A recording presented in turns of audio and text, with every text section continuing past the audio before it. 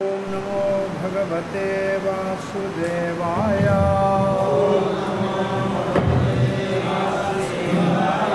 ॐ नमो भगवते वासुदेवाय।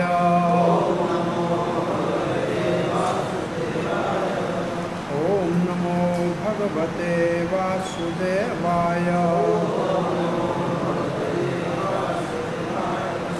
कृष्णाय वासुदेवाय देवकीनन्दनाय च नन्दगोपकुमाराय गोविन्दाय नमो नमः।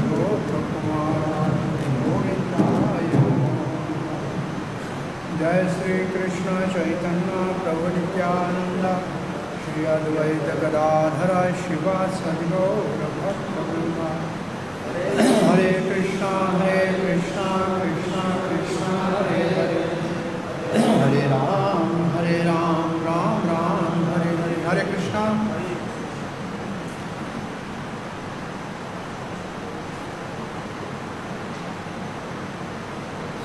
इस्कान वृंदावन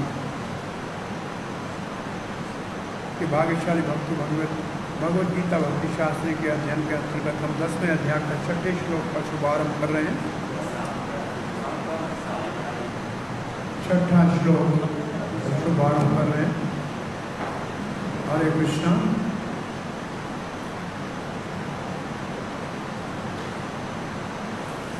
महर्षि सप्त पूर्वे चतवारो मनवस्तथा मदभावा मानसा जाता। येषां लोक इमाः प्रजाः। महर्षि सप्त पूर्वे जो सात महर्षि पहले उत्पन्न हुए, चतवारो मनवस्त था और चौदह मनुष्य। मदभावा मानसा जाता वो सब मेरे मे, मेरे द्वारा मन से उत्पन्न हुए। ये शाम लोक इमा प्रजा जिनके द्वारा ये सारी सृष्टि हुई। तो सात ऋषि पहले और उससे पहले चार कुमार चतवारो चार कुमार और फिर चौदह मनु। सात, चार, चौदह, सब मिलाकर ये ये सारी सृष्टि इनसे उत्पन्न हुई है। ये भवा, भव का मतलब मोहम्मद भावा मतलब मुझसे प्रकट हुए हैं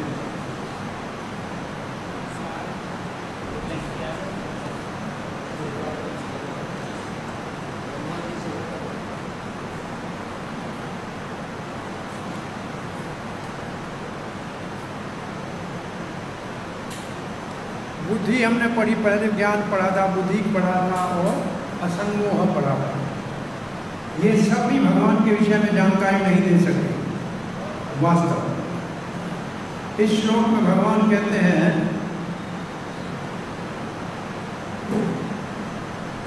कि सात ऋषि पहले, मरीचि पहला, जैसे कौन नाम क्या है सात ऋषियों के पहले? मरीचि, अत्रि, पुलस्त, पुलह, कर्तु और वशिष्ठ। ये पहले सात ऋषि जो ब्रह्मा जी के मन से उत्पन्न हुए मरीचि भृगु। भृगु मरीचि अत्रि भृगु मरीचि अत्रि पुलस्त पुलह कर्तु और वशिष्ठ। ये सप्त ऋषि चार कुमार। सनक, सनातन, सनंदन और और चौदह मनु स्वयं वो मनु से लेके चौदह। सात हो चुके हैं सात होने वाले हैं।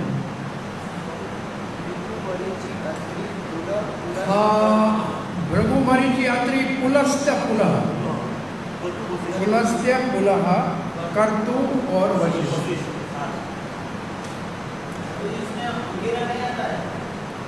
अंगीरा दूसरे में आएगा। ये क्या है ऋषि बदलते रहते हैं ब्रह्मा जी के? हर मनवंतर में। हर मनवंतर में ये बदलते रहते हैं।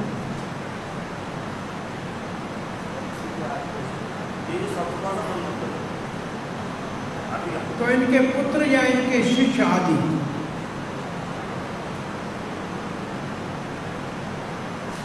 अब ये कितने बड़े विद्वान है? चार कुमार, ये ज्ञान की मूर्तिमान स्वरूप है ना?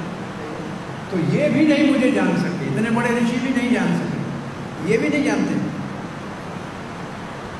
इनकी बुद्धि भी भगवान से आती है, ये भी भगवान को नहीं जान सकते। प्रभुपाद लिखते हैं, भगवान श्री कृष्ण अब वंशावली बता रहे हैं। ये सृष्टि की वंशावली। पहले ब्रह्मा उत्पन्न हुए, कहाँ से उत्पन्न हुए? हिरणा गर्भ ब्रह्मा को क्या कहते हैं? हिरण्य गर्भ। उत्पन्न कहाँ से हुए? गर्भोदक्षाई विष्णु की नाभि से। और फिर ब्रह्मा से सात ऋषि उत्पन्न हुए, चार कुमार हुए। यहाँ कुमारों के नाम प्रभुपाद ने दिए सनक, सनंदन, सनातन और संत कुमार। और चौदह मंदिर। ये सब मिला के पच्चीस। ये हमारे पूर्वज है। सारा संसार इनकी संतान है इनसे और कोई नहीं सको। ये ये आखिरी हमारे दादा दादा जाके पहुँचेंगे तो ब्रह्मा तक पहुँचेंगे और बीच वाले ये। और अनंत ब्रह्मांड है। उसमें अनंत लोक है। और हर लोक में बहुत प्रकार की सृष्टि है। वो सब इन पच्चीसों से उत्पन्न हुई ब्रह्मा ने तपस्या किया हज़ारों वर्षों तक। देवताओं के हज़ारों वर्षों तक। तब उन्होंने कृष्ण की कृपा से सृष्टि करने का ज्ञान प्राप्त किया। ब्रह्मा से चार कुमार उत्पन्न हुए, फिर रुद्र उत्पन्न हुआ, सात ऋषि उत्पन्न हुए। और फिर ऋषियों के बाद चतुर्वर्ण हो गए, ब्राह्मण क्षत्रिय उत्पन्न हुए। ये सब भगवान की शक्ति से हुए। पापा जी और विस्तार बता रहे। हैं ब्रह्मा को पितामह कहते हैं और भगवान श्री कृष्ण पर पितामह है। ये ग्यारहवें अध्याय में पर पितामह कृष्ण को कहा गया है। सातवां श्लोक पढ़ने जा रहे हैं। एतान विभूतिम योगम च।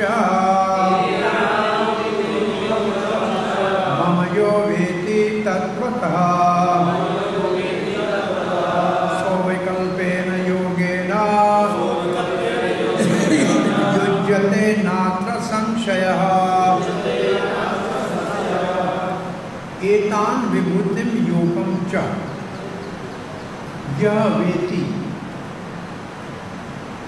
वेति का मतलब जो मुझे जानता है। क्या मुझे मेरे विषय में जानता है?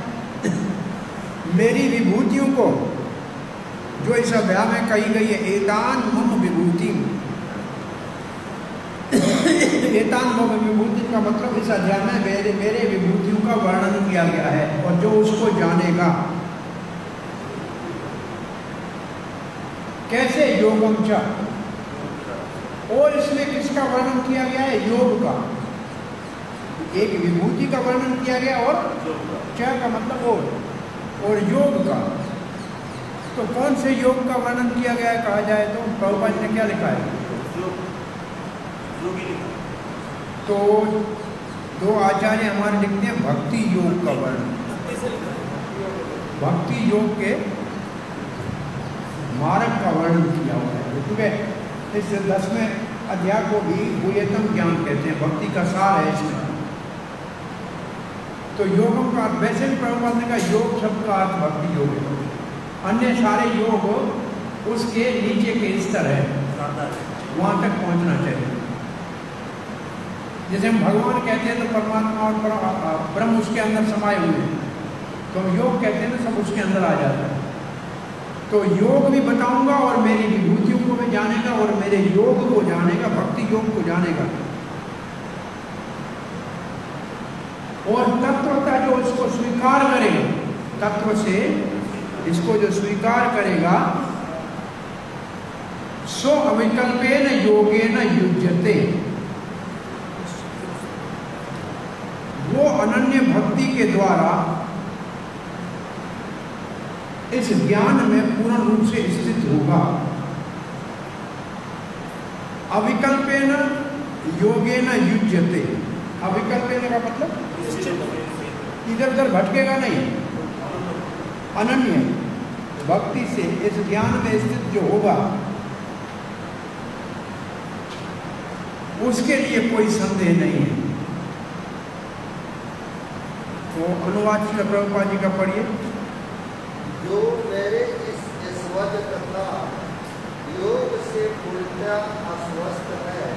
वो मेरी अनन्य भक्ति तत्पर होता है, इसमें तनिक भी संदेह नहीं है। तो अनन्य भक्ति किसका अर्थ है? अविकल्पेन योगे न युजते युजते का मतलब सेवा में लगना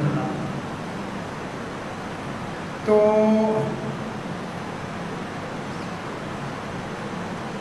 वैसे भगवान आगे कहेंगे कि केवल भक्ति से ही मुझे जाना जा सकता है। और अनन्य भक्ति के द्वारा ही जाना जा सकता है।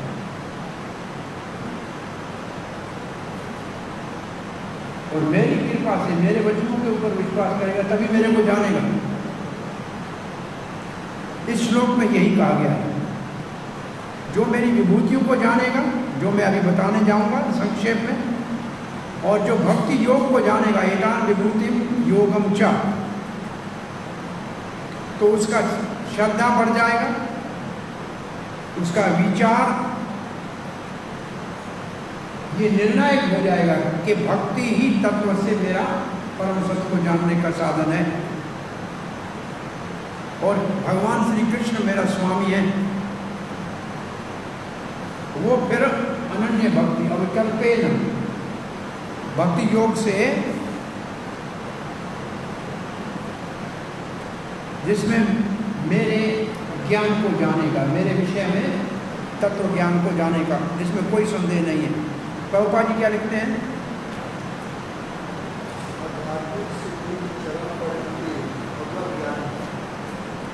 आध्यात्मिक सिद्धि की चरम सीमा भगवत ज्ञान है। तो चरम सीमा भगवत ज्ञान है तो आधा ज्ञान, आधा क्या सीमा है? आत्मा का ज्ञान। जो ज्ञानियों को होता है आत्मा का ज्ञान में ये सातवें अध्याय में क्या मनुष्य नाम सहस्र यदति सिद्ध है वो आत्मा का ज्ञान वाले सिद्धे हो गए।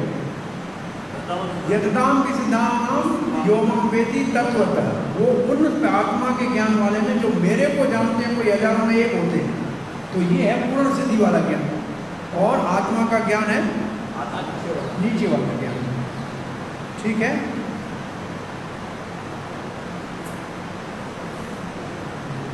अब प्रभुपा जी लिखते हैं, जब तक भगवान की विभूतियों में विश्वास नहीं होगा, तब तक भक्ति में दृढ़ता नहीं आएगी।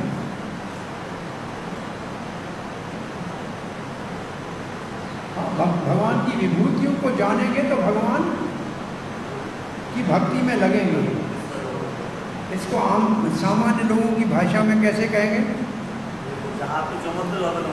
चमत्कार को नमस्कार। चमत्कार को देखेंगे तो नमस्कार करेंगे। भाई भगवान इतना महान है तो उसकी सेवा करनी चाहिए। और फिर प्रभुपा जी लिखते हैं, सामान्य लोग कहते हैं भगवान महान है, परंतु उसकी महानता की विशेषता नहीं जानते। यहाँ उसकी महानता का विस्तार से वर्णन है। वास्तव में अगर आप जानोगे कि भगवान महान है तो फिर आप भगवान, फिर तो हम भगवान के शरणागत हो जाएँगे। और भक्ति के कारण में लग जाएँगे। जब हम भगवान की विभूतियों को वास्तव में जानेंगे तो शरणागति के अतिरिक्त और कोई रास्ता नहीं बचेगा।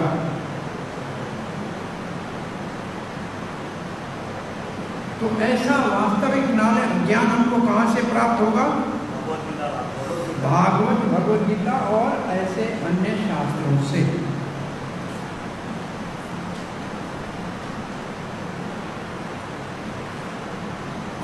भौतिक जगत के संचालन में बहुत सारे देवता हैं। और उन सबका अधिपति ब्रह्मा और शंकर जी हैं। चार कुमार हैं और फिर उनके इनसे उत्पन्न होने वाले और भी हमारे वंशज हैं। और हमारे बहुत सारे प्रजापति हैं। इन सब की उत्पत्ति भगवान श्री कृष्ण से हुई।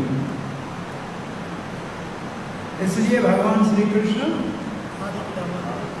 पर पितामह है। इसको और आगे प्रभुपा जी लिखते हैं, ये भी कुछ भगवान की विभूतियाँ हैं। कि जिनका नाम है हम सप्तऋषि ये भी विभूतियाँ हैं।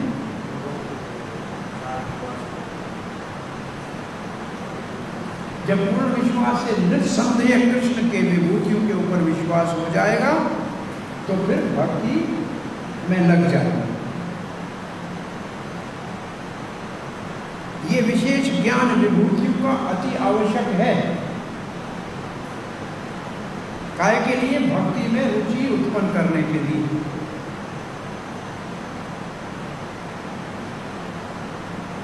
कभी भी कृष्ण की महानता को समझने में क्या नहीं करना चाहिए?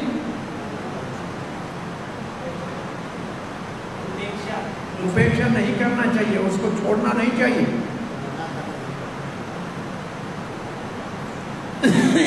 उसकी महानता को समझ के ही भक्ति में हम लग सकते हैं। श्लोक का एक भाव ऐसे भी है कि अर्जुन कहता है कि जैसे मंदिर में है तो भगवान याद आ जाता है। या समाधि में बैठे तो भगवान का ध्यान होता है। सब जगह घूमते, फिरते, चलते, फिरते भगवान का पता कैसे लगे अविकल्पे न, योगे न। और कोई कहीं भी देखे आप तो भगवान ही दिखे तो इसलिए ये प्रश्न पूछा। अब चतुर्थ श्लोक की भगवत गीता आ रही है। चतुर्श्लोक की भगवत गीता। तो भगवान की विभूतियों में सबसे बड़ी विभूति है भगवान के भक्त, जिनका वर्णन है चतुर्श्लोकी भगवान की विभूतियाँ तो बहुत है, लेकिन भगवान के भक्त सबसे बड़ी विभूति है ये ऋषि विभूति है। ये सारे प्रजापति, ये विभूति हैं। कितने कितने संतान उत्पन्न किया ये विभूति है सामान तो नहीं है तो चतुर्श्लोक रामानुज आचार्य ने इसको कहा है। तब से ये प्रचलित है। ये चार श्लोकों को चतुर्श्लोक की भगवद गीता रामानुज आचार्य ने इसको प्रमाणित करके प्रचारित किया है और सब स्वीकार किया है सबने आपका कभी कभी प्रश्न आता है कि इन चार श्लोकों में संबंध, अभिधेय और प्रयोजन कहाँ है? ये प्रश्न आता है। तो आइए हम पहला श्लोक पढ़ रहे हैं चतुर्श्लोकी का।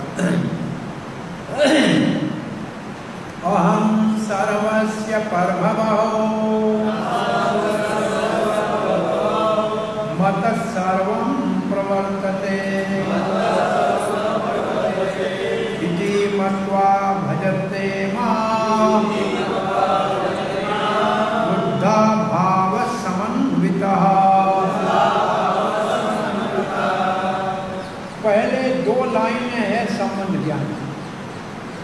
श्लोक के पहले दो लाइन संबंध ज्ञान है।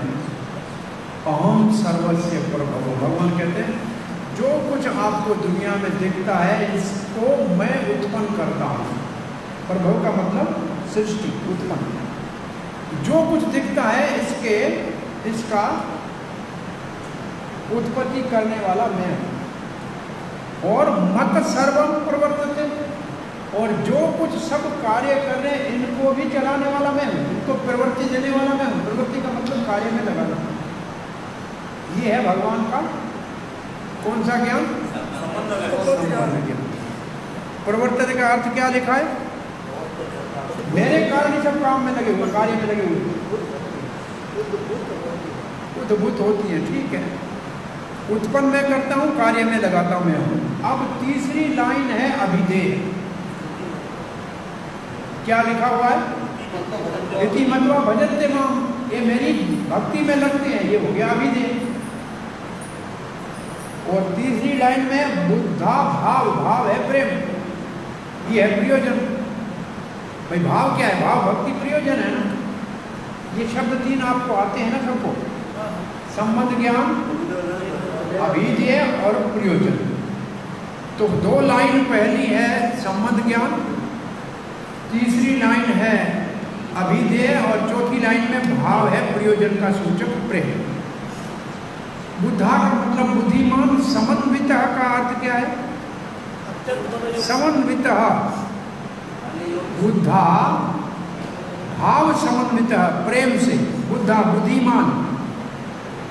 भाव समन्वित, भावयुक्त। भावयुक्त। ठीक है? तो ये श्लोक का पढ़ते ही आपको तीन इसमें तो दिख रहे हैं सीधे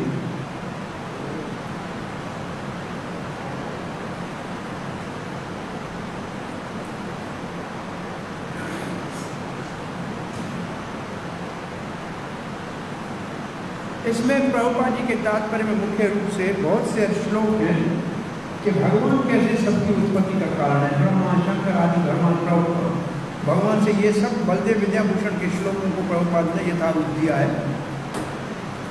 तो आइए श्री प्रभुपाद जी के तात्पर्य को पढ़ते हैं।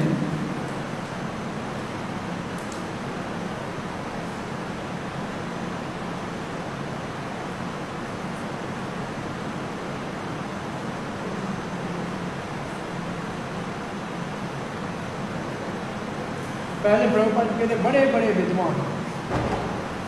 जो वेदों को ठीक से जानते हैं, कैसे जैसे बड़े बड़े कहा जाए बड़े बड़े आ- अधिकारी जैसे चेतन महाप्रभु के मुख से सुनकर, वो तो उनकी शिक्षाओं से हम इस निर्णय पे पहुँचेंगे कि भगवान श्री कृष्ण सारे भौतिक और आध्यात्मिक जगत का आदि कारण है।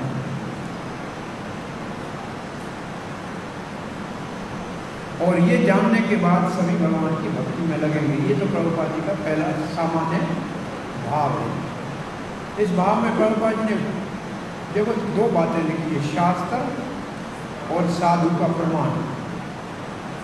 शास्त्र साधु के प्रमाण से हमने कृष्ण को पूर्ण पुरुष मान के उसकी भक्ति करनी है। तो साधु और शास्त्र है ना, वेद को पढ़ता है और विद्वानों मतलब साधु, प्रमाणिक साधु।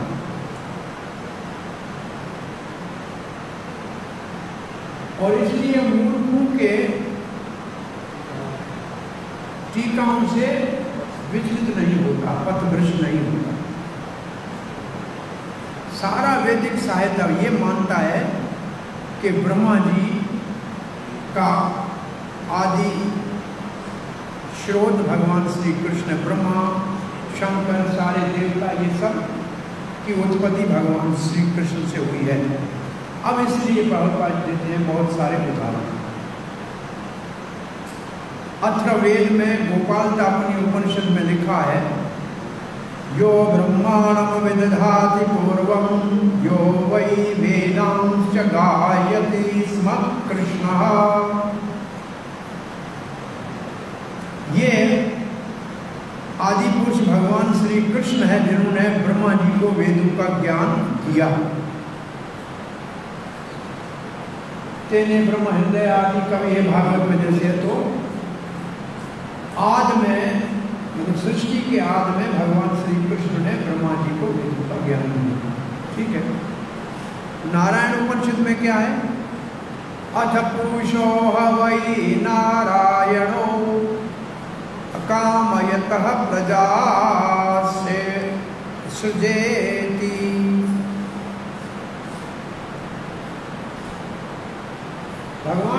कामना की और सृष्टि हो गई अन्य उपनिषदों में लिखा है, ये पूरा लंबा श्लोक लिखा है, नारायण ब्रह्मा जायते नारायण प्रजापति, प्रजा, प्रजायते नारायण इंद्रो जायते नारायण अष्टवशो जायन्ति, नारायणादेकादश रुद्रो जायन्ति, नारायण द्वादशादित्य अभी आपकी जानकारी के लिए सबका आपको पता होना चाहिए क्या लिखा है। नारायण से ब्रह्मा का उत्पन्न, ये तो ठीक है, नारायण से सारे प्रजापति उत्पन्न हुए। नारायण से इंद्र उत्पन्न हुआ, नारायण से आठ वसु हुए। कौन से वसु हुए? और ग्यारह रुद्र और बारह आदित्य उत्पन्न हुए। और वो नारायण श्री कृष्ण का एक विस्तार है। उसी वेद में लिखा है, ब्रह्मणो ही देव की पुत्र वो जो ब्रह्म है, वो देव की पुत्र है पर ब्रह्म श्री कृष्ण। एको वै नारायणासीन, न ब्रह्मा, न न ईशानो नाको नागिसो नाग्नि सोमम नेमे द्यावा आ पृथ्वी न, नक्षत्राणी न सूर्य। आरंभ में केवल एक अकेले नारायण थे।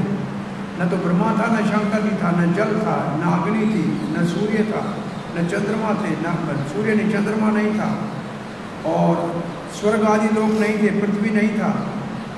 आकाश मंडल और सूर्य कुछ भी नहीं था। ये महाउपनिषद है। ये केवल जानकारी के लिए बहुत सारे श्लोक दिए हुए हैं कि आदि पुरुष भगवान श्री कृष्ण सबका ये किसके लिए इतना सारा दिया हुआ है? अहम सर्वस्व प्रभव। अहम सर्वस्व प्रभव को प्रमाणित करने के लिए इतने सारे श्लोक दिए गए प्रजापतिनां च रुद्रं चापि अहम् एव सृजामि वै, तौ इमां न विजानीतो मम माया विमोहितो। सारे प्रजापति शंकर आदि जितने भी देव हैं, मेरे द्वारा इनकी सृष्टि हुई है। परंतु मेरी माया के कारण ये इसको नहीं जानते हैं। और बारह पुराण में क्या लिखा है? नारायण परो देवा तस्मय तस्माज जातश्चतुर्मुख तस्माद रुद्रो भवत देव, सच्च सर्व ज्ञाताम गता। तो नारायण से ब्रह्मा शंकर ऐसे उत्पन्न हुए। तो ये आपको याद नहीं होगा तो ये बहुत से प्रमाणों से, वेदों से, शिला प्रभुपाद ने ये स्थापित किया है। अहम सर्वस्व पर और अहम है कृष्ण, क्योंकि कृष्ण बोल रहा है। ठीक है?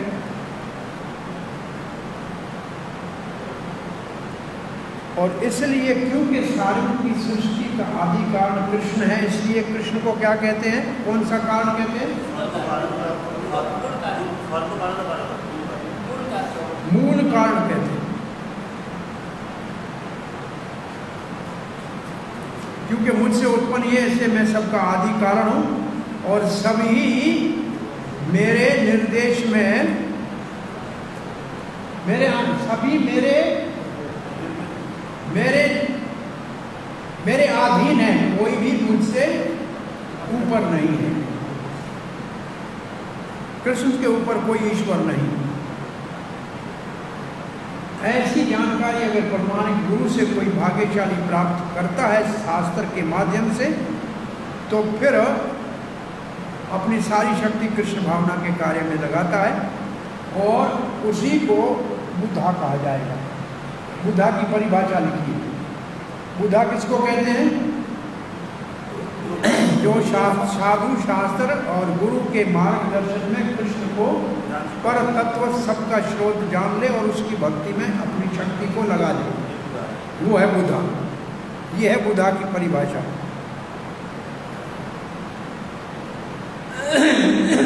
अब ये बुधा है तो बाकी क्या है? बोला, बाकी सब बुद्धू है। देखो इस है? वे बुद्धा और अन्य सब बुद्धू ये बुद्धू मूर्ख समझेंगे कृष्ण सामान्य मानव है। और जो कृष्ण भावना में ऐसे मूर्ख मूर्ख से कभी भी भ्रमित नहीं होगा। और ऐसे मूर्खों के, ऐसे बुद्धों के लिखे हुए गीता के तात्पर्यों को कभी नहीं पढ़ेगा। और अपना कृष्ण भावना में दृढ़ा, दृढ़ता से संकल्प पूर्वक आगे बढ़ेगा। तो अब ये जानकारी में कौन ग्यारह रुद्र हैं, कौन बारह आदित्य हैं, इनके नाम वाम कहीं से जानकारी होनी चाहिए ना?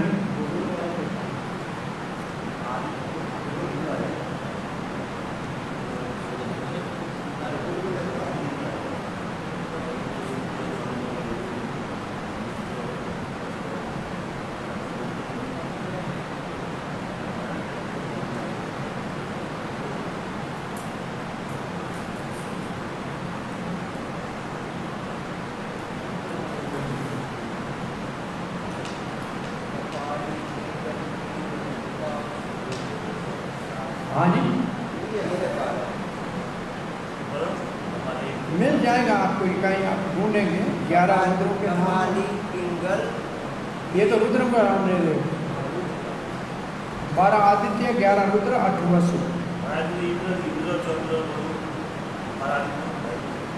आदित्य के पुत्र बारह हैं जिसमें इंद्र है उपेंद्र एक भगवान का अवतार है। सूर्य है। मिल, जाएँगे। ज्ञात जानकारी में हमारे पास लिखे होने चाहिए। कभी भी काम आए तो पता आना होना चाहिए बारह आदित्य कौन से हैं ग्यारह रुद्र कौन है आठ वसु कौन है। इनके नाम आने चाहिए। अब एक बात चक्रवर्ती पाद लिखते हैं। भगवान अपनी शक्तिशाली विभूतियों का वर्णन कर रहे हैं श्लोक में। अपनी शक्तिशाली विभूतियों का वर्णन कर रहे हैं। ये बता रहे हैं कि सारी सृष्टि का मैं आदि कारण हूँ। कौन सी सृष्टि? बहुत। वो दोनों कौन से? भौतिक और आध्यात्मिक। ये है प्रभव का अर्थ। और अब सर्वम प्रवर्तते का अर्थ क्या है? मेरे कारण ही परमात्मा के रूप में, मेरे कारण मेरे परमात्मा के रूप में सारा भौतिक जगत कार्यशील है। मत प्रवृत्ति का अर्थ क्या है? मेरे परमात्मा स्वरूप से सारा भौतिक जगत कार्यरत है। अच्छा भगवान दूर भी है, भगवान नज़दीक ही है। आपने पढ़ा था कहाँ पढ़ा था?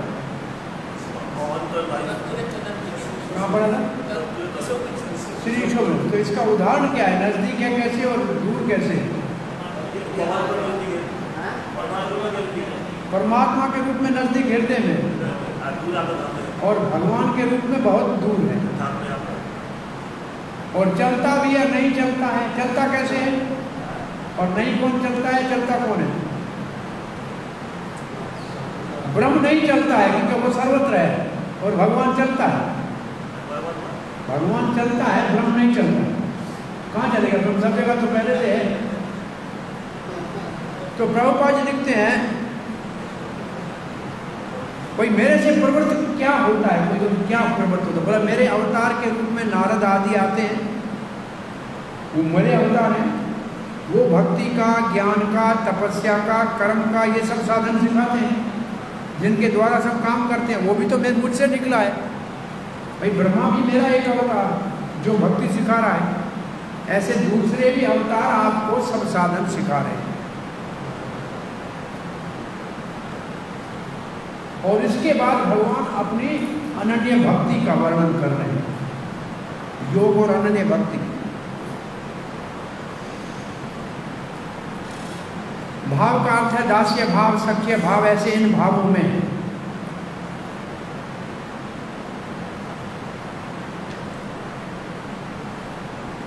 तो जो पहले कहा था, सातवें श्लोक में क्या कहा था? मेरे योग और ऐश्वर्य को देखो। तो इस श्लोक में ऊपर योग ऐश्वर्य नीचे योग है। एक और तर, एक और दृष्टि इस श्लोक के ऊपर क्या है? पहले ऐश्वर्य है दो श्लोकों में और नीचे योग है। योग का मतलब अनन्य भक्ति। तो जो भगवान ने कहा पश्चिम में योगम ऐश्वरम तो ये योग और ऐश्वर्य का वर्णन इस श्लोक में है। अब योग और ऐश्वर्य का वर्णन आपको इस श्लोक में समझ में आ रहा है? पहला दो लाइन ऐश्वर्य है, नीचे दो लाइन योग है भक्ति योग। अनन्य भक्ति का वर्णन।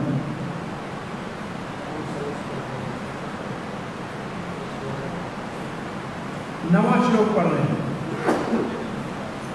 मज्जित मदगत प्राणा। बोधयन्त परस्परम् नित्यं। पश्यन्ति च रमन्ति च। मज्जित्ता जिनका चित्त मुझमें लगा हुआ है। मदगत प्राणा, अगर मैं उनके चित्त में नहीं रहूँगा तो प्राण निकल जाएँगे। बोधयंत परस्परम, आपस में एक दूसरे को मेरी कथा कथ्यंतश्च और कथा करते हैं, सुनते हैं। नित्यम मेरी कथा नित्य सुनते हैं। तुष्यंती च, रमंती च संतुष्ट होते हैं और आनंद में मगन रहते हैं। तो इस श्लोक में तीन लाइना है, लाइनें हैं, अभिधेय, भक्ति कैसे करनी चाहिए? और चौथी लाइन है, प्रयोजन रमनते। रमनते का मतलब रमण करना मतलब प्रेम का सूचक है। तो पहले तीन लाइनों में क्या है? भक्ति कैसे करनी चाहिए? अभिधेय। पहले तीन लाइन में अभिधेय और चौथी लाइन में प्रयोजन का। रमन में प्रयोजन शब्द। अच्छा जी अब मज्जिता का क्या अर्थ है? मन में मुझे पाने का लोभ। मुझे मेरी प्राप्ति का मन में लोभ। मज्जिता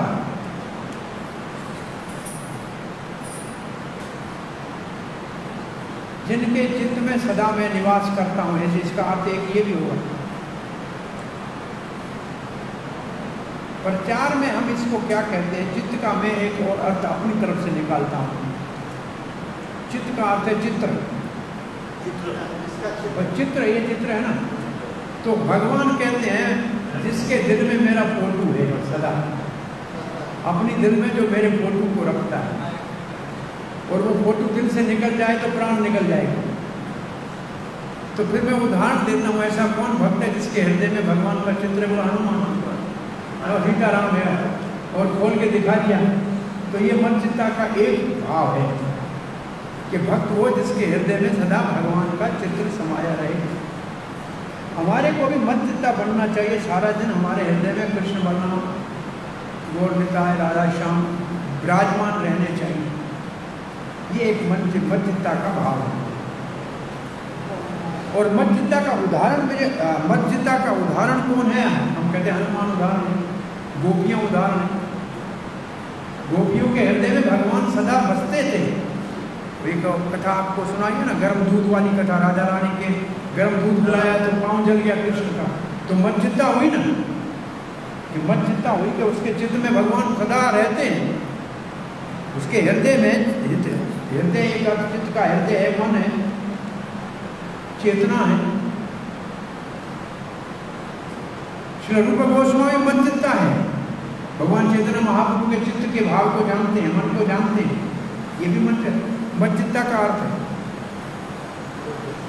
जो मेरे चिंतन में सदा लगे हैं और मदगत प्राणा का उदाहरण कौन सा देंगे? मेरे विषय में नहीं कथा करेंगे तो प्राण निकल जाएँगे। वो मरी नहीं ना, प्राण निकले ही नहीं। दशरथ महाराज ऐसे उदाहरण है, राम के नमाने का सुना प्राण निकल गए। मदगत प्राणा मैं अगर मैं नहीं मिलूँगा तो प्राण निकल जाएँगे। कुंती महारानी इसका उदाहरण है। अर्जुन वापस आया, कृष्ण का पता नहीं लाया, कुंती के प्राण निकल गए। ये मदगत प्राण। बोला बोधयंत परस्परम कथ्यंत नित्यम फिर वो जीते कैसे हैं? बोला, बस मेरी कथा करते हैं। एक कथा खत्म करता है, दूसरा शुरू करता है और नित्य कथा करते रहते हैं। ऐसे भक्तों का उदाहरण कौन सा है तब मैं कौन सा? जब कुमार भक्ति में बात देर से आए बेचारे। उद्धव और विदुर जमुना के किनारे जो कृष्ण कथा कर रहे हैं वो असल में मज्जत मजमा बोधयंत परस्पर का उदाहरण उद्धव और विदुर के बीच में जो कृष्ण का चरित्र गाया जा रहा है, वो बड़ा अद्भुत है। तीसरे स्कंद के पहले तीन अध्यायों चार अध्यायों ये इसका उदाहरण है। वो दयंत परस्पर निरंतर कथा करते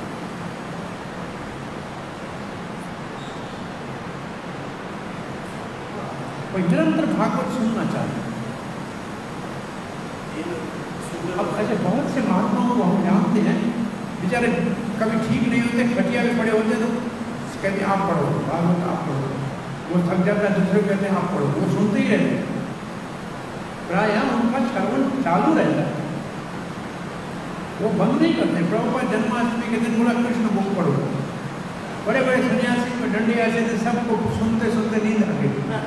लेकिन प्रभुपाद बड़े प्रेम से सुन रहे थे वृंदावन तो इसमें रस आएगा तो सुनेगा, नहीं तो सो जाएगा। लेकिन वो भक्त जब आपस में कथा करते हैं तो उसमें रस आता है। तुष्यंती जब उस कथा से वो संतुष्ट हो जाते हैं। फिर उनको और कुछ नहीं चाहिए। रमन तीजा उसके हृदय में भगवान के प्रेम का उदय हो जाता है।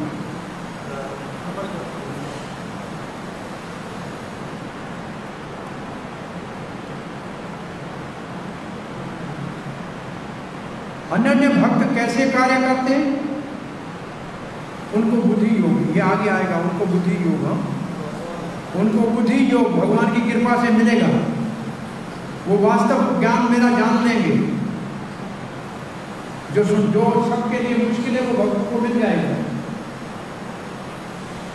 और उनका मन मेरे नाम, रूप, गुण, लीला के रस आस्वादन के लिए लोभी लालची हो जाएँगे, लोलुप्य उत्पन्न हो जाएगा। मध्यता का अर्थ क्या लिखा है? चक्रवर्ती पाल ने, मेरे गुण, रूप, नाम, लीला। के रस आस्वादन के लिए उनके हृदय में लोभ उत्पन्न हो जाएगा। ये लोभ किसकी किस, कौन सी भक्ति के लिए लोभ की आवश्यक है? राग अनुगा भक्ति के लिए दो चीज़ें चाहिए। अधिकारी कौन है राग अनुगा भक्ति का? दो चीज़ें चाहिए। एक तो लोभ होना चाहिए और दूसरा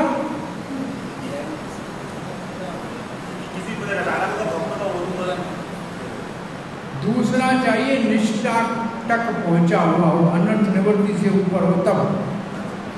अगर निष्ठा तक नहीं पहुँचा है तो वो सहजिया हो जाएगा। निष्ठा तक कम से कम हो और फिर लोभ हो तब रागनों का भक्ति का शुभारंभ कर सकता है। तो यहाँ जो लोभ लिखा है इसका मतलब ये है रागनों का भक्ति का सूचक है चक्रवर्ती के भाव में। और बिना भगवान के वो अपने जीवन को भी नहीं रख सकते हैं।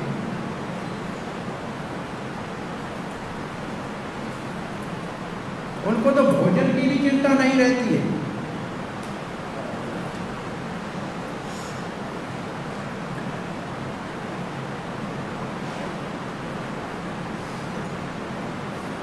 आपस में प्रेम पूर्वक कथा करते हैं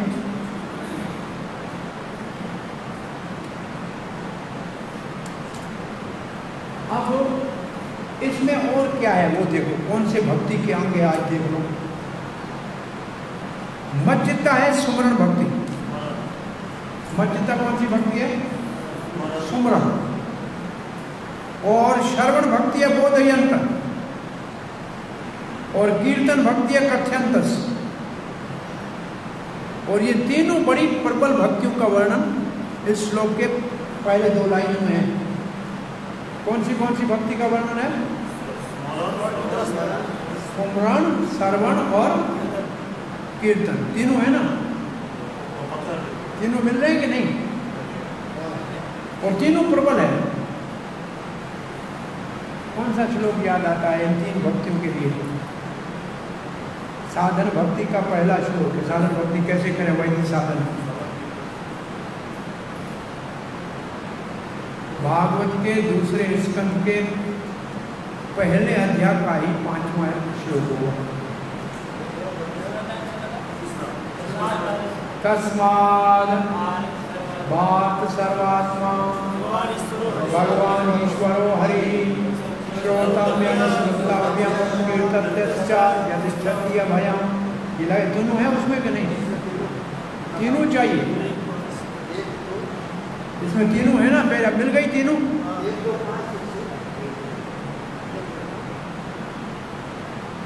चक्रवर्ती बात कहते हैं। ये भक्ति का रहस्य है।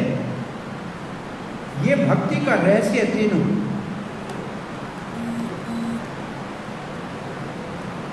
भक्तों को, ये भक्तों को संतुष्टि और आनंद देती है। ये भौतिक वाले, भौतिक वाली नहीं समझते कि ये भक्त इसी में कैसे सुख लेते हैं? बाहर से कुछ नहीं मिलता है, फिर कुछ कैसे? है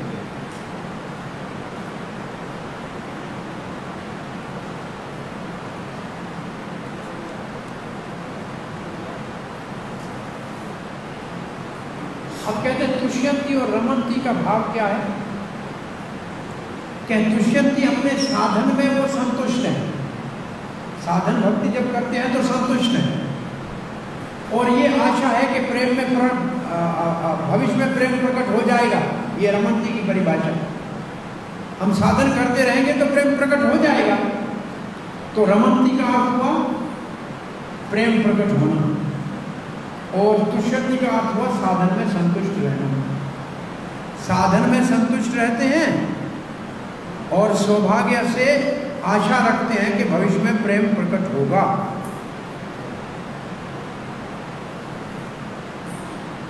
इसका अर्थ है राग अनुगा भक्ति का सूचक है ये श्लोक।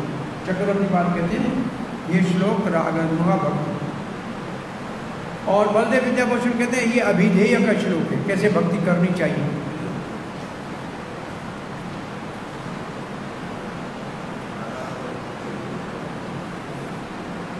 और मध्य मध्यचित मध्यचित का अर्थ है मध्यचित का अर्थ है मेरा स्मरण करते हैं और अपना जीवन मेरे बगैर रख नहीं सकते मतलब उदाहरण क्या जैसे मछली पानी के बगैर नहीं रहती। जैसे मछली बिना पानी के नहीं रह सकती, भक्त मेरे बिना रह नहीं सकते।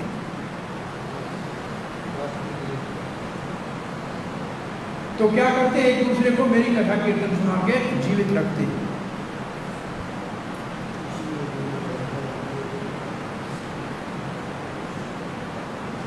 तुष्यंती अमृत पीते हैं रमनती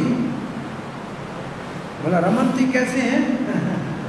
उदाहरण देते रमनती का मतलब जैसे नौजवान लड़के, लड़की आपस में मिले ना, ऐसे मुझे प्राप्त करने के लिए उनको रम, आनंद मिलता है। अब शिला प्रभुपा जी क्या लिखते हैं? शुद्ध भक्तों के लक्षणों का वर्णन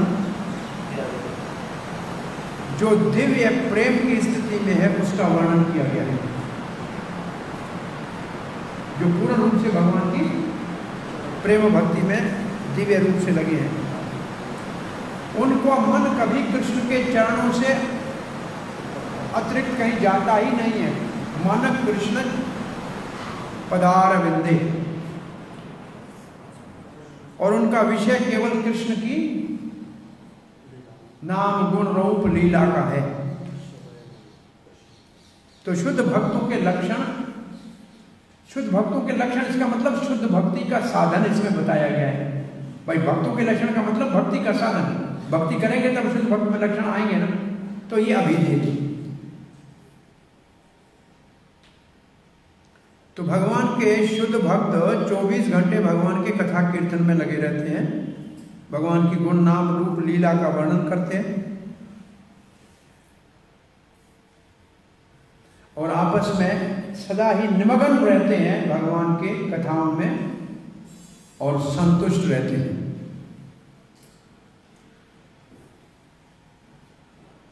अब प्रभुपा जो लाइन लिखी है इसको समझिए। प्रारंभक भक्ति की स्थिति में वो सेवा से ही संतुष्ट होते हैं यह है साधन।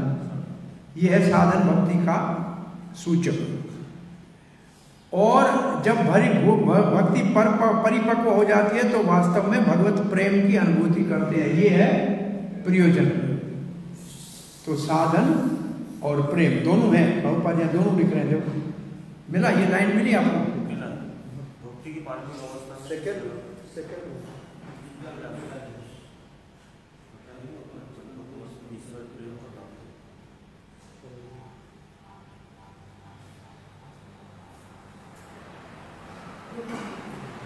ऐसी जब दिव्य स्थिति में होते हैं ना तो भगवान के धाम में होने वाली मधुर लीलाओं का रस आस्वादन करते हैं।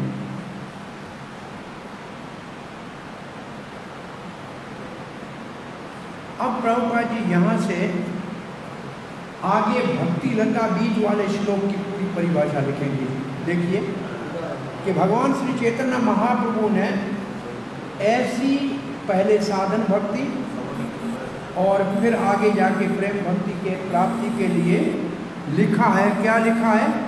भक्ति का बीज जीव के हृदय में कैसे आरोपण होता है? तो पहले लिखा है, ब्रह्मांड भ्रमित कोई भाग्यवान जीव। गुरु कृष्ण प्रसाद पाए भक्ति लता बीज और फिर लिखा है कि भक्ति क्या है? एक बीज के समान है। जो भक्त के, जो जीव के हृदय में श्रवण, कीर्तन आदि हरे कृष्ण महामंत्र के कीर्तन श्रवण से क्या होता है? भक्ति का बीज अंकुरित होता है। अब एक प्रश्न मैं आपसे पूछूँ कि भक्ति का बीज है क्या? महामंत्र तो साक्षात भगवान है। भक्ति का बीज कैसे होगा?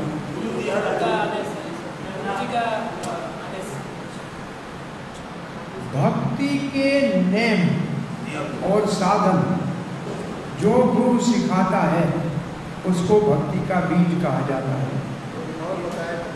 श्रद्धा बिंदु गुरुदेव दिया, है ना? श्रद्धा बिंदु। भक्ति शुरू होती है श्रद्धा से। तो भक्ति की नियमावली जो गुरुदेव से प्राप्त होती है, उसको भक्ति का बीज कहते हैं। हरे कृष्ण मंत्र भक्ति का बीज नहीं है। बीज अंकुरित कैसे होता है? श्रवण कीर्तन से। श्रवण कीर्तन, जले, सिंचन करे। तो बीज को, श्रवण और कीर्तन से उस बीज को अंकुरित करना है। देखो, लिखा है प्रभुपा जी आगे लिखा है ये बीज को पानी देंगे तो अंकुरित होगा। और फिर ये लता बढ़ेगी। भौतिक जगत का भेदन करती हुई ब्रह्म ज्योति से आगे आध्यात्मिक जगत में जाएगी। और वो जाके कृष्ण लोक में, गोलोक में पहुंचेगी वृंदावन में। और वहाँ जाकर भगवान श्री कृष्ण के चरणों में लपट जाएगी। और फिर वहाँ वो लता फल देगी वो फल है कृष्ण प्रेम। वो फल देगी फले फूलेगी फल फूल देगी। तो इस लता के लिए श्रवण कीर्तन के जल का सिंचन करना चाहिए। ये मध्य लीला में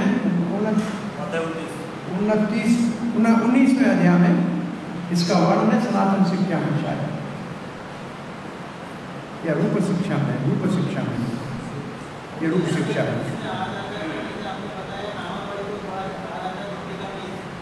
क्या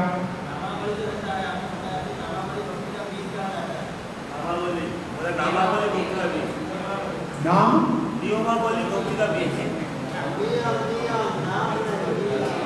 नियम नियम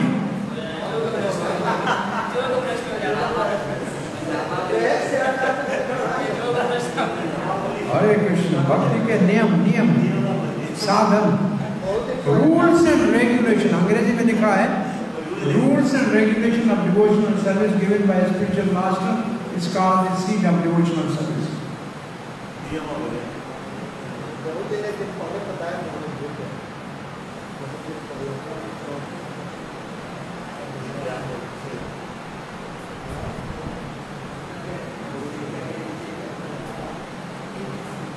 और जब वो हमारी भक्ति की लता कृष्ण के चरणों में लपट के प्रेम का फल दे देगी तो फिर संसार में हम जल बिना मछली की तरह नहीं तड़पते रहेंगे जब तक कृष्ण का प्राप्ति नहीं होगी।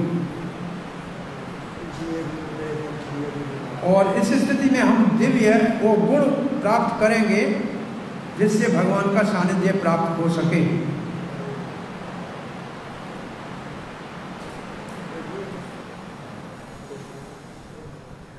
और अब कहते हैं, ये सब जो अब फिर भगवान से प्रेम हो गया तो उसमें तो बहुत से दास से है सत्य है। तो उसका पता कहाँ लगेगा? बोला, भागवत में जाके पढ़ के देखो। भागवत वैष्णवानाम यथा प्रियम ये श्लोक है। श्लोक नहीं दिया है ना? बारह, तेरह, अठारह। पूरा श्लोक है? क्या लिखा है? श्रीमद्भागवतम पुराणम अमलम वैष्णवानाम यद प्रियम ये श्लोक। है ठीक है? पूर्णम, पुराणम, अमलम, यद वैष्णवानाम प्रियम। तो भागवत में कोई भौतिक कार्य नहीं है। ना धर्म है, ना अर्थ है, ना काम है, ना मोक्ष है। भागवत में केवल कृष्ण प्रेम है। भगवान और भगवान के भक्तों के बीच में जो प्रेम का आदान प्रदान है, उसका भागवत में वर्णन है। इसलिए जो कृष्ण भावना में अनुभव भक्त है, वो निरंतर ऐसे भागवत जैसे शास्त्र में रुचि रखते हैं। और उनको ये भागवत ऐसा लगता है, जैसे रमनते। रमनते लिखा है प्रभु ने क्या जैसे नवयुवक और युवती को आपस में तो मतलब वो वो उनकी बातें खत्म नहीं होती है भक्तों की भागवत पढ़ना समाप्त नहीं होती पढ़ते ही रहते थकते ही नहीं अब दसवां श्लोक पढ़ने जाए तो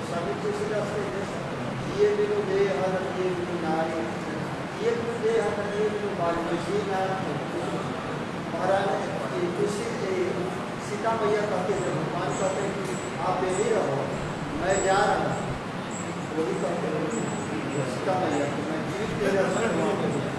आपके बिना जीवित नहीं रह सकती जैसे मछली जल के बिना नहीं रह सकती। और हम तीन बजे प्रसाद के बगैर जीवित नहीं रह सकते। इसमें उदाहरण दे सकते दे देखो भगवान और अनन्य भगवान सीता और राम जुदा कभी होते ही नहीं। हाँ मतलब वो उनके ग्रह में और प्रेम बढ़ता है राधा कृष्ण की जुदाई होती नहीं। भक्तों का उदाहरण देना है तो चेतन महाप्रभु का भाव है, युगायतम निविशेण चक्षुषा प्राय शून्यायतम जगत सर्वम गोविंद ब्रैण ये इसका भाव है। कि आपकी सुमरण नहीं हो तो जगत हमारे लिए सुना है। अब दसवां श्लोक पढ़ रहे हैं तेषाम सतत युक्ता भजताम प्रीतिपूर्वकम। ददामि बुद्धि योगम तम।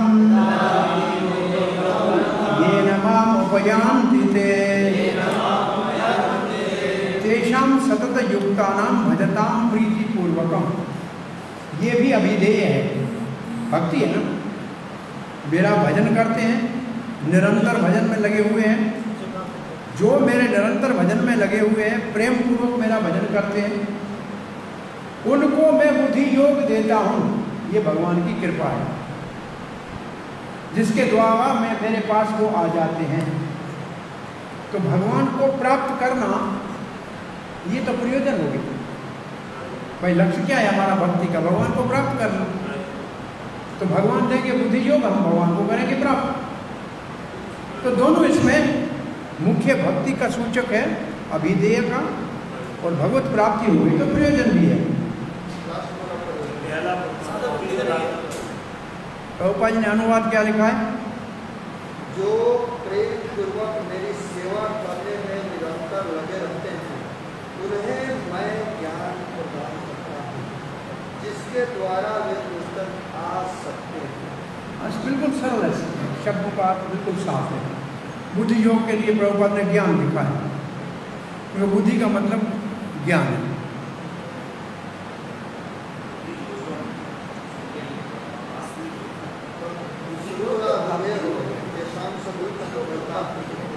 क्या है बुद्धि योग? परंतु यहाँ प्रभुपाद देखो मैं उसको ज्ञान देता हूँ। तो ये कौन सा ज्ञान देंगे, कहा जाएगा तो ये संबंध ज्ञान, जिसके द्वारा भगवान को पाया जा सके।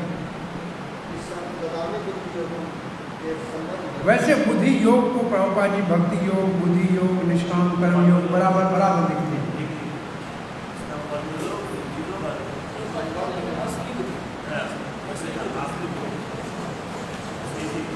अच्छा जो अभी श्लोक पढ़ा नवा, उसमें रमनते तुष्यंती तो वो जो भक्त को आनंद मिलता है, वो कौन से स्तर का है बोलो वो प्रकृति के प्राकृत गुणों से परे वो आध्यात्मिक स्तर का है, प्रकृति के गुणों से परे का है। तो अब प्रश्न उठता है कि ऐसा आनंद मिले कैसे? जब ऐसा अद्भुत दिव्य आनंद भक्तों को प्राप्त होता तो मिले कैसे? वो मिलेगा जब आपसे संपर्क होगा तब ना। भगवान तो आनंद घन है जब उससे हम मिलेंगे, उससे सेवा में जुड़ेंगे, तब आनंद मिलेगा ना। तो उसके लिए जो साधन है, वो इस श्लोक में बताया गया तो इस श्लोक का, उस श्लोक के साथ संबंध क्या है? जो आनंद की अनुभूति दिव्य स्तर पे करते हैं भक्त उस आनंद को प्राप्त करने का साधन क्या है जिससे भगवान से संपर्क हो जाए? ये श्लोक है, वो साधन जिसके द्वारा भगवान से संपर्क हो जाए। जिससे आध्यात्मिक आनंद की अनुभूति हो। मानो आनंद पूछ सकता है कि ऐसे दिव्य आनंद कैसे मिलेगा भक्त को? तुषंती रमन जी तो भगवान उसका उत्तर दे रहे हैं। उनको मैं बुद्धि योग चक्रवर्ती बात कहते बुद्धि योग का मतलब भक्ति। हैं सतत युग का नाम सतत युक्ता का मतलब सदा मेरा सानिध्य चाहते हैं। निरंतर मेरे सानिध्य के इच्छुक है। निरंतर मेरे सानिध्य के इच्छुक है। मेरा सानिध्य मेरा संग चाहते हैं। केवल भगवान ही बुद्धि योग दे सकते हैं। और उनके मन में ये भगवान प्रकट करते हैं।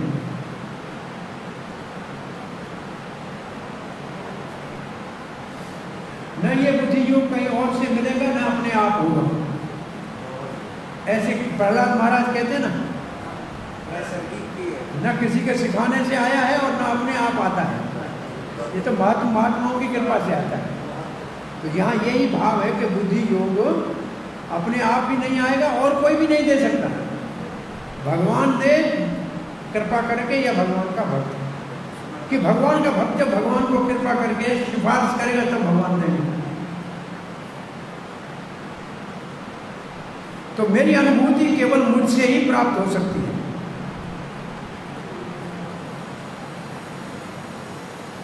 और केवल भक्तों को ही मिलती है। मेरे द्वारा ही केवल और मेरे भक्तों को ही केवल मिलती है। और उस भक्ति के द्वारा वो मेरा सानिध्य प्राप्त करते हैं। मेरे निकट आ जाते हैं। भगवान अनंत गुणों के स्वामी हैं। आपको कैसे प्राप्त कर सकते हैं? तो गुरु की शिक्षा से। गुरु की शिक्षा ग्रहण करो, मिल जाओगा। जो मेरा नित्य सानिध्य चाहते हैं, संग चाहते हैं, सतत युक्ता नाम यही अर्थ निकाले और मेरी प्रेम पूर्वक पूजा करते हैं। मैं उनको वो बुद्धि देता हूँ जिसके द्वारा, वो ज्ञान देता हूँ। लिखा है, वो ज्ञान देता हूँ जिसके द्वारा वो मुझ अनंत को समझ लेंगे और मेरे पास आ जाएँगे। प्रभुपा जी लिखते हैं, बुद्धि योग बहुत महत्वपूर्ण शब्द है इसमें। दूसरे अध्याय में बुद्धि योग शब्द आया था।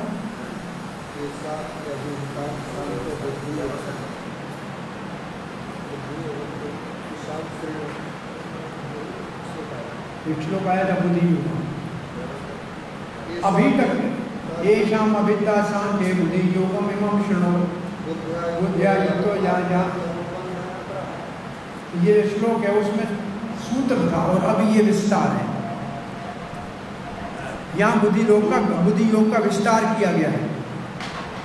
और बुद्धि योग क्या है?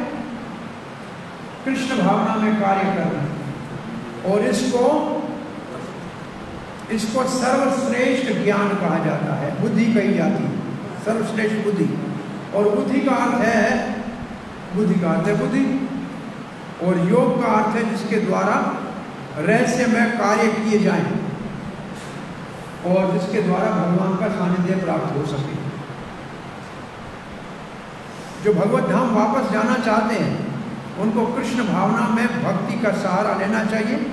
इसी को बुद्धि योग कहते हैं। दूसरे शब्दों में बुद्धि योग वो साधन है, जिसके द्वारा हम भौतिक बंधन से मुक्त होकर भगवान के सानिध्य को प्राप्त करेंगे। अपने परम लक्ष्य कृष्ण भावना में अग्रसर हो जाएँगे। लोगों को इस बात का मालूम नहीं है, इसलिए आके बैठते हैं, फिर चले जाते हैं।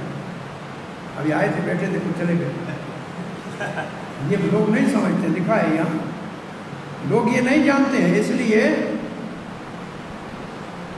कि भक्तों का संग और प्रमाणिक गुरु का संग बहुत महत्वपूर्ण है।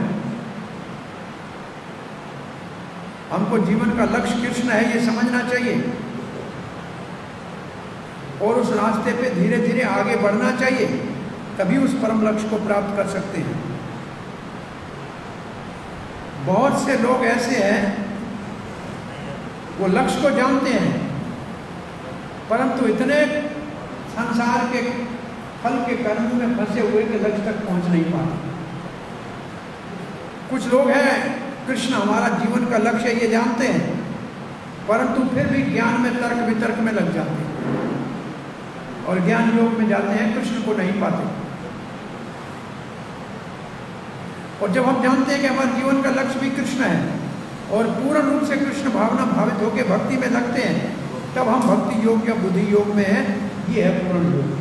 तो प्रभुपा जी ने यहाँ लक्ष्य को जाने भी, परंतु हम जानते हैं, हमारे भक्त जानते हैं कृष्ण भावना हमारे जीवन का लक्ष्य है। परंतु अभी भी हमारा दुनिया के भोग में अगर मन लगा हुआ है तो वहाँ लक्ष्य प्राप्त नहीं होगा, देर लगेगी। और ज्ञान में लक्ष्य कृष्ण है, परंतु ज्ञान में तर्क वितर्क करेंगे कृष्ण ब्रह्म है कि ब्रह्म कृष्ण है। तो परमात्मा महान है कि ब्रह्म मान तो भी टाइम खराब हो जाएगा। परंतु कृष्ण लक्ष्य है और उसकी सेवा में लग जाए तो फिर लक्ष्य प्राप्त हो जाएगा। ये पूर्ण योग है और ये परम सिद्धि की अवस्था है। और इसके लिए प्रमाणिक गुरु का होना अति आवश्यक है। और ऐसा गुरु होने चाहिए जो परंपरागत किसी संस्था से जुड़ा हो।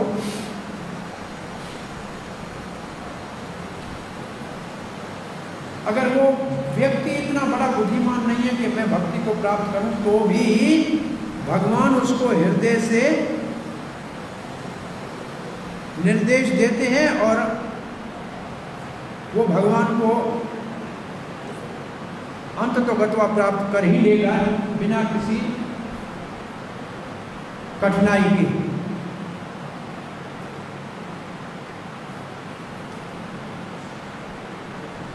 तो क्या क्या लक्षण है ऐसे भक्त का जो भगवान तक पहुँचा जाएगा? उसका क्या गुण है? वो निरंतर कृष्ण की भावना में लगा है प्रेम पूर्वक सेवा कर रहा है। सब प्रकार की सेवा प्रेम पूर्वक कर रहा है। क्यों कार्य कृष्ण के लिए करना चाहिए? और वो प्रेम पूर्वक करना चाहिए।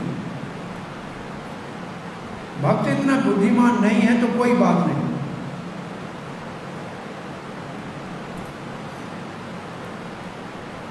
परंतु भगवान की सेवा में अगर लगा हुआ है तो भगवान परम लक्ष्य को प्राप्त करने के लिए, अंतिम लक्ष्य को प्राप्त करने के लिए उसकी सहायता करते हैं।